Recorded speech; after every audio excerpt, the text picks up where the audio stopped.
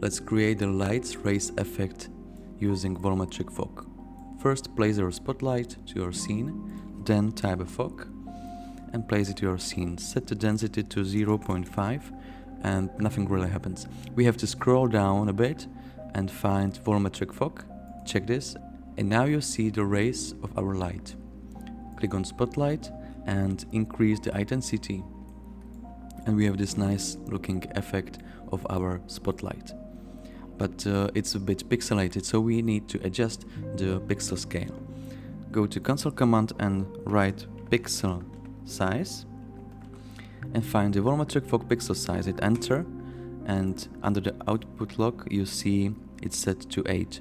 So write pixel size again, check this volumetric fog, space, set it to 2 and enter. And now we have the nice smooth resolution of our spotlight. It works also with other lights, so you can use for example the point light, adjust the colors and create some nice looking atmosphere into your scene using volumetric fog.